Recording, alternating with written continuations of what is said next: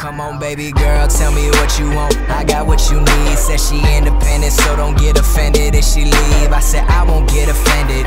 I'll just get some Fendi and repress my emotions and material shit that can be a distraction.